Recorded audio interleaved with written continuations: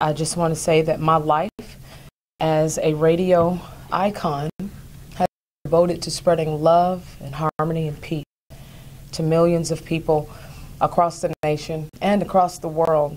Um, but in 2023, I had an unimaginable encounter two weeks ago in Buckhead here in Atlanta. And it is disheartening to see such blatant racism that it still exists today. And this encounter put a bit of focus on the reality anyone patronizing any establishment could have the power to bless business or harm your business just through the influence of social media. You have no idea who is walking into your facility, into your establishment. Um, because Atlanta is full of high, simply low key, and they just want to have a life. This particular day, I just wanted a veggie cheesesteak. And I walked into Woody's in Buckhead and I placed my order. The employee took my order, but he rinsed me as Darky in, in the system. So as I was paying and the screen popped up and I saw Darky, I asked him to change my name and just put an L, just correct it because Darky is insensitive to a black woman. He refused. So I asked him again. I said, "Could you just take the take that off, change the name? Could you correct it for me?" He still refused. So at that point, I said, "Just forget the sandwich. Could you refund my money?" And he still refused. And unfortunately, at this particular time, um, I, you know, I, as, as I do, I just kind of sat back and just thought about it. Like, how do you fix a situation like this? How can you fix this? And I've just kind of went back over. Thank God for Google reviews and thank God for Yelp, because that's where our consumers will go and express themselves and to tell people, you know, about their poor experiences. And even with Yelp and Google reviews, it does not mean that an owner, a business owner, or a manager is going to look at the reviews and see what it is that you have to say. Um, but gratefully, I had a platform to be able to bring attention to something that was already on Google review and Yelp about this particular facility. And had I seen that, I probably wouldn't have gone in the first place. But I did. But one of the things um, that I thought about is that the normal consumer doesn't have my platform. So, one of the resolutions that I feel is very important for us, for everyone as consumers, is something that I've created in the midst. It's called the Right One, which is a social media platform that will allow consumers to post videos and post their experiences and it will also be a whistleblower to people that are racially and socially discriminatory against, uh, against their patrons. But it is also going to serve as a spotlight for businesses who are getting it right. So we will have forthcoming details about the Right One platform coming up at the top of the week. I do want to say that my attorneys and I, we got together and um, they asked me what I wanted to see. What I actually wanted to see is reconciliation because that's not what we get to see too many times in this society. You see publicists that will give you a, a blanket apology, but it doesn't get to the heart of the issue. I wanted to sit down with the management team, with the employee, with the attorneys of Woody's, with my team, and then my reconciliation team so that we could sit and talk through some resolution. They refused to sit down with us. Um, and I'm going to give it over to my attorney because he has been in contact. They refused a lot of things, but that leads us to where we are today. Thank you. Thank you. My name is James Walker. James, yeah, you might excuse me. My name is James uh, Walker Jr., and along with Attorney Griggs, we have been advising um, Darlene, Ms. McCoy, and her husband here, who stand so bravely with her. I think it's very courageous for her to come forward. Many times people let these things happen and they just brush them under the rug and keep it moving because they don't want this kind of attention. She has been through a very traumatic experience here. If you've ever dealt with racism or a racial slur or any kind of racial discrimination, you understand the impact it, it has. And if you haven't, hopefully you never will. I've reached out to Woody several times. We tried to get them to A, meet with the NAACP. I have emails where I've said, Will you meet with the NAACP? And I've never gotten a written response back to say, Yes, we'll meet with the NAACP. We'll meet with others in the civil rights movement to help us better this. When you have a company that has numerous complaints like this, and I've read many of them, you can't just fix it internally. And one of the things they told us is they want to select the person to fix it. They want to select the team to come in and do diversity training and sensitivity training and all kind of different diversity inclusion efforts. We disagree with that. We agree with what Ms. McCoy just said, that Mr. Griggs and the NAACP and experts like that should be brought into the party and should be brought into the meeting so that it's done right. I don't want you to self-check yourself. I want you to let experts come in and hopefully fix this so we don't see another Darlene McCoy story. So they did not want to welcome that. As Darlene alluded to, they were very reluctant to meet with us. Sometimes I think these companies think they can write a check and this will all go away, or they think they can just offer you something. This is bigger than that. We want to send a message to not just Buckhead, we want to send a message throughout the region, throughout the state, throughout the country that it's time's up. As Darlene said, they got the right one today. They got the right one. And we're going to give them some time that I'll let Attorney Griggs talk about, who I really appreciate you stepping in here um, and helping my client. I'm going to let him tell you kind of what our next steps will be. Thank you. And I just want to thank Darlene, I want to thank James uh, for allowing the Georgia State Conference and the NAACP to be a part of this. Um, when I first saw uh, the posting by Darlene that Friday, um, I saw it maybe 10 minutes after she posted it, and I texted Darlene and I said, however we can help. Darlene is a friend of mine, but this goes beyond our friendship. This is the birthplace of civil rights. This is the birthplace of the movement. And for a restaurant to think that a racial epithet is appropriate uh, has no place in this city, in this state. So, as the president of the oldest civil rights organization, we reach out to Woody's. We welcome a conversation. Let's be clear. We started the diversity, equity, and inclusion business, so there's no one better than to have this conversation. And we look forward to engaging.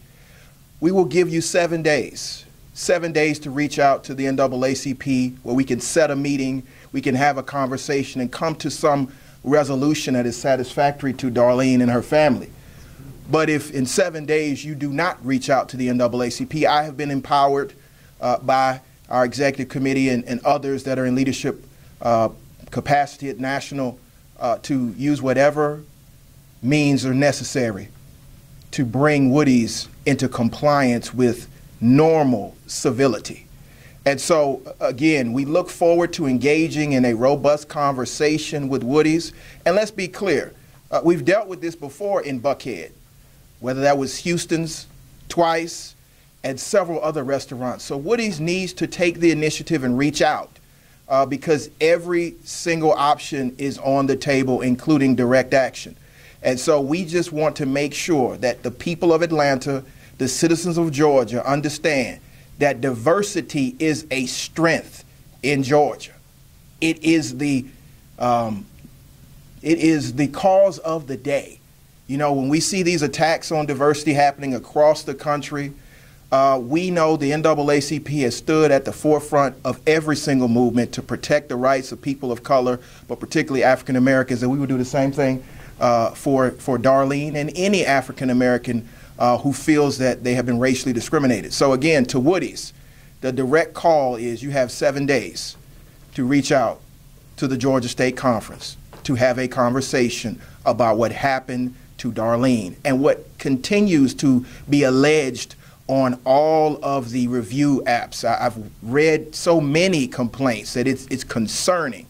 Um, and again, in Buckhead, this is the third restaurant that we've heard that's had this issue. Uh, we need to address this. Again, this is the birthplace of civil rights. It's the birthplace of Dr. King.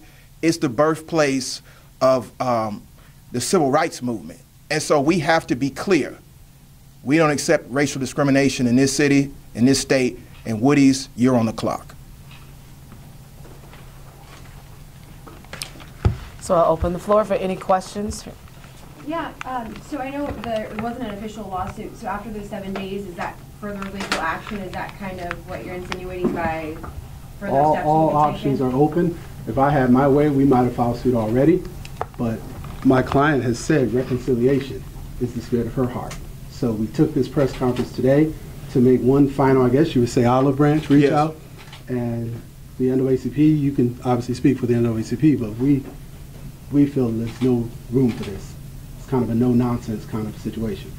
No, the owner, uh, Larry Sproul Channel 2, the owner has, I guess, told publicly that it was a language barrier from the employee and that this was a mistake. Um, Have you, has he apologized to Miss, to you, Ms. McCoy? Or are you, do you accept that, that reasoning that it was a language barrier? Well, I, I did hear that, that that is what he said, but Darky was spelled correctly. Um, my questions were, were spelled, but I asked him to change it. He refused. I told him how to spell my name. He refused. Um, but, you know, he also said that he's known this particular employee for a long time. And this employee has been referenced in other racial situations months before my situation. So I just don't buy it. And they also sent us a letter that was sent to Darlene of an apology with steps of what they're trying to do as far as diversity training.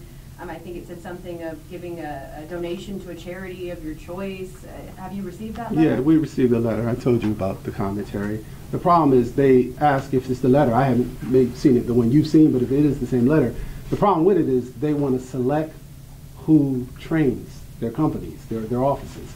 Also, I note about the letter that they refused to address a very specific question, which was, will you meet with the NAACP? As Attorney Griggs just said, they set the foundation for diversity and inclusion. This is the birthplace. Why would you send me a letter and not reference what I told you was the most important thing? That she wanted to sit down with them, he wanted the NAACP to sit with them. Did you see that addressed in the letter?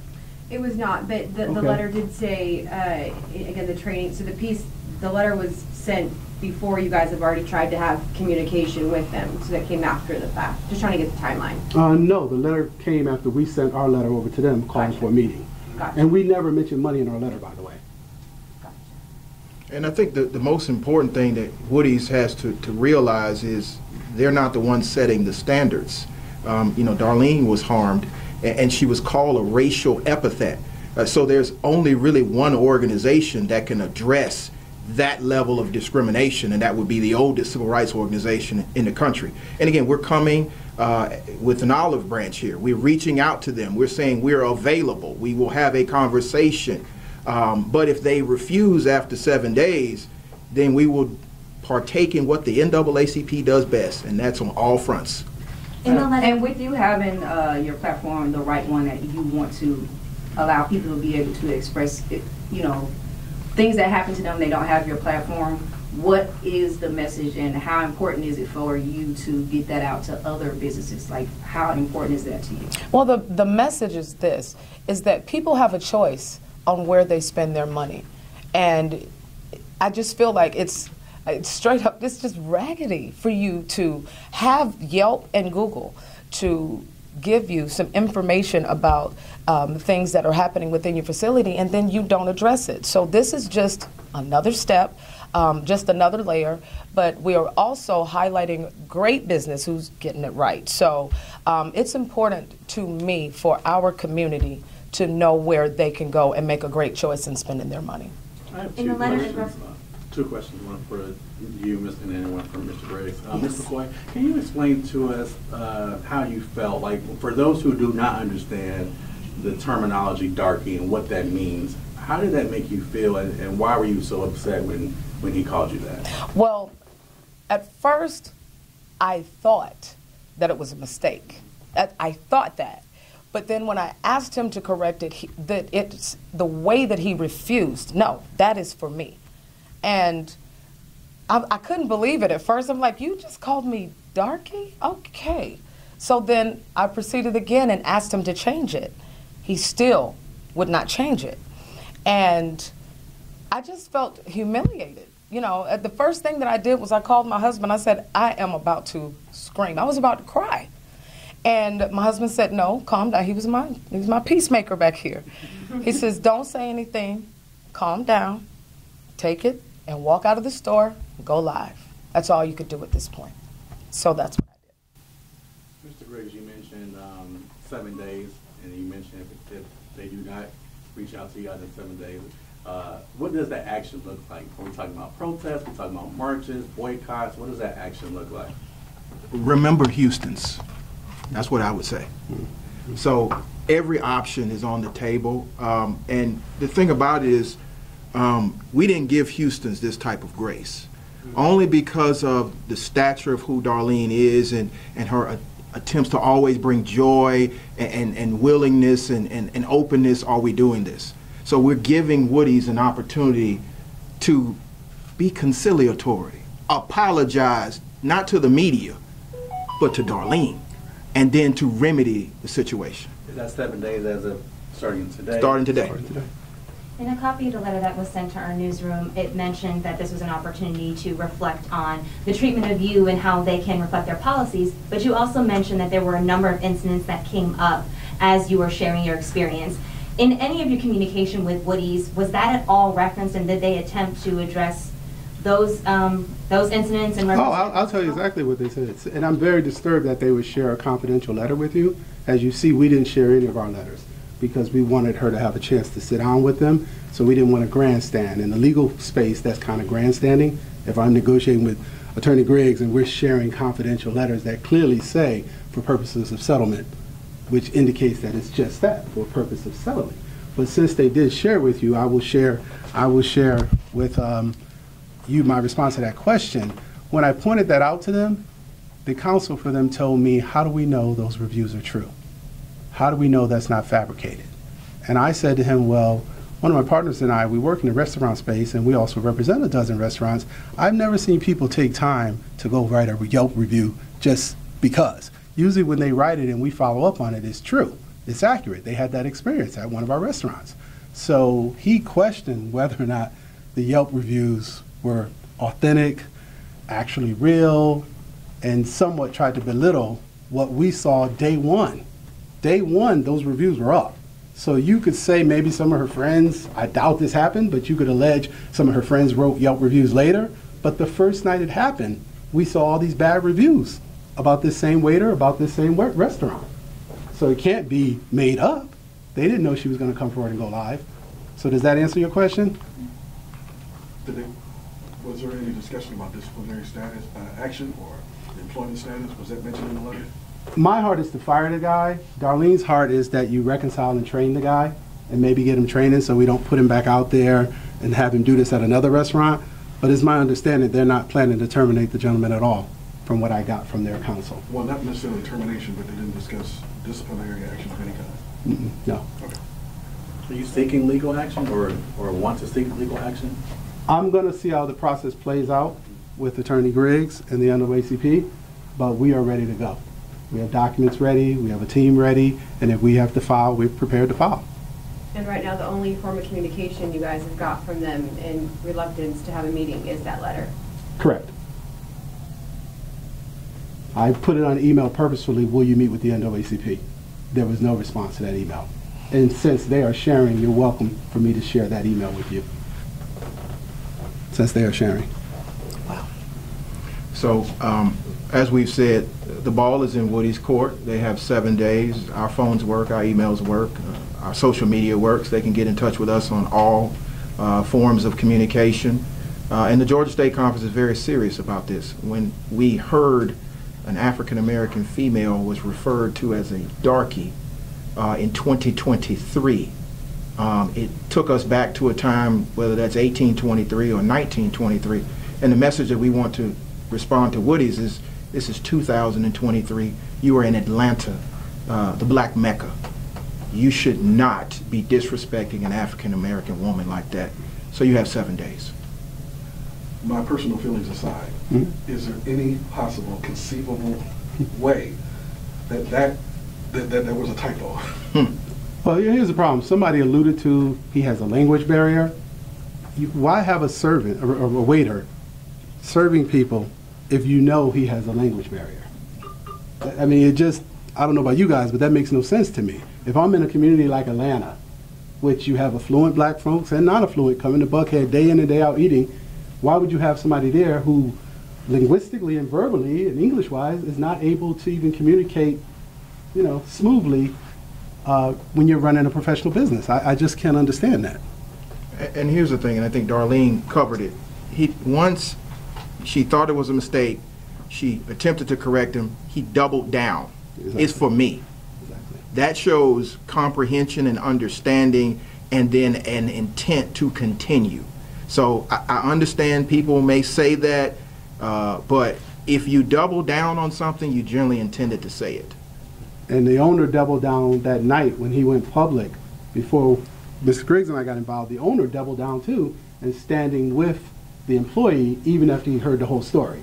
He went on TV and still tried to justify it. I didn't see any remorse. I didn't see any level of real contrition or any kind of apology to her. It was more of, you know, oh, he's a good employee. And then he told me he hires a lot of black folks. I said, okay. I don't know how that helps you, but that's what they wanted us to know, that they, they have African Americans working for them. It came up that the, the person who, the employee was also another individual of color, but not black. Mhm. Is it worthwhile, or would you be willing to have a conversation, if possible, about cultural competency within communities of color when it comes to black people and their feelings, if Woody's were to respond? Absolutely. Absolutely. That's actually a part of the, the meeting that we're, we're trying to have. We want an understanding. And, but I, I, I still want to say, he spelled darky correctly. That's all I have to say on that. And to the brother's question up here, we all know historically what the word darky means. You can just Google it. You know, from the days of slavery till now, the word symbolizes something in the black experience in America. So to summarize and review, um, what is the reasonable expectation, uh, Ms. Darling, of the outcome? If, if, if it was ideal, if it was an ideal situation on the outcome? If it were ideal, um, I would just like to see honesty from the side of Woody's, to be honest about what's actually happened, and to be fair about responding to me about what's actually happened, so that I can respond. That's it. Any other questions? Any other questions? We thank you all. Thanks for being here. Thank you all.